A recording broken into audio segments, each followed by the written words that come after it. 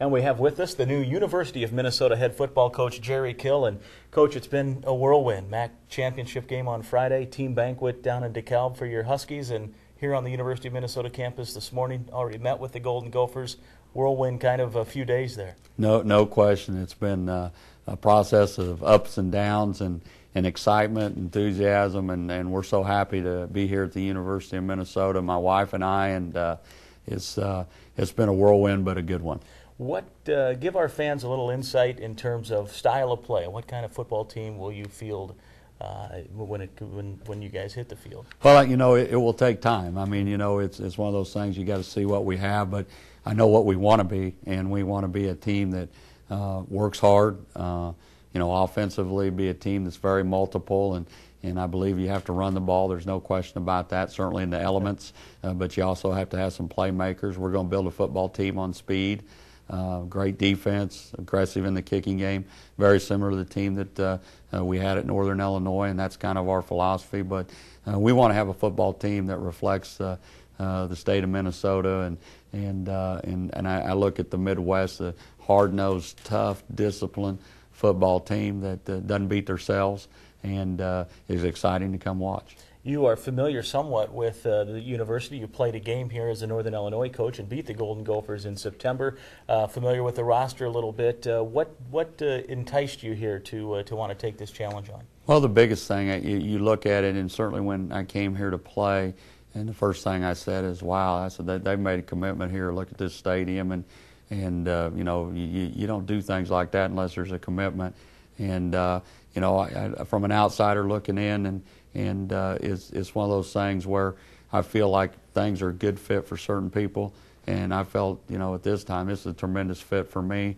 Uh, it's a great university, uh, a great place to get an education, uh, a great state. I'm a Midwest person, uh, so I, I, just think it's perfect timing uh, for this job. And sometimes timing's not so good for jobs, but this is great timing, and I look forward to the challenge how much were you able to, as this thing was unfolding pretty quickly, to to uh, research and investigate what kind of team will I be inheriting here if I take that job, and what what do you know of the current roster? Not much time. I, I haven't had a whole lot of time because you know I'd concentrated and and uh, and then you know I got a call and, and went from Joel and the president, and that that was Saturday, and then boom. So uh, you know I certainly didn't plan on any, any of this. So it's one of those things where I know it from playing the roster and those kind of things, but I never judge things too quickly.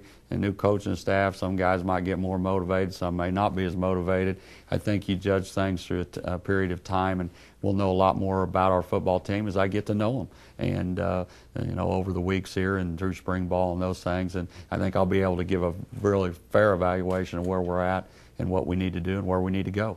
You've won at every level. You uh, were a high school state championship winning coach in the state of Missouri. You were an offensive coordinator for a Division II national championship team, Division II conference championships as a head coach, one AA championships as a head coach, and uh, and Division One uh, bowl games and conference championships. What is the key to that consistency? You've turned a couple of programs around. This will be a turnaround situation. Is there something along the way that uh, that has uh, been constant with that? Well, I've been fortunate. You know, I, I got my start through Dennis Franchione, who was able to turn some programs around. So I learned a lot of things from Coach Fran. But uh, I think the biggest thing is is that is that the continuity of we we've had staff wise whatever staff we had at the place I was at they didn't get up and leave and we've stayed together. I don't believe you can have revolving doors. Those kids got to get comfortable. Uh, I think we recruited players to what we do. We didn't worry, well, we got to have a five star kid for. We recruited players that fit into the system. Uh, you got to have role players, you got to have great athletes, etc. But it's got to be good chemistry. I think we did a great job of recruiting what we wanted, and uh, I think we we we did a good job of of evaluating uh, how kids are going to succeed there. And so it's all about personnel, in my opinion, and and uh, and then motivating that personnel to get the best out of them. And we've just been fortunate, you know, and very, been very blessed. A lot of your coaching staff has stayed with you throughout many of your stops.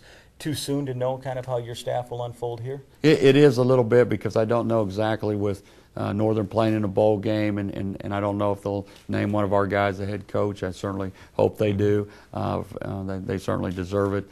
Uh, but uh, we'll see how it all plays out. Uh, the big thing is we'll do what's best for the University of Minnesota, put our best team together. It's going to be loyal and we know each other, and, and, and there's good coaches here that I, I've known or, or we'll get to know. So we'll put the best group together uh, to do what's best. Tell us about your family that'll be coming with you. Well, that's the best part is I've got a beautiful wife and, and uh, two beautiful daughters, and uh, they're very excited. Uh, uh, one is a senior at uh, Southern Illinois, and the other one's a sophomore at Northern. So I've got the state of Illinois covered. But uh, I guarantee you they'll be wearing Minnesota gear as soon as I can get it to them. Uh, they love their daddy, and I love them, and uh, uh, we're a close family, and uh, they're all very excited. Well, welcome to the Twin Cities. Congratulations. Thank you very much. I appreciate it. He's the new head football coach at the University of Minnesota, Jerry Kill.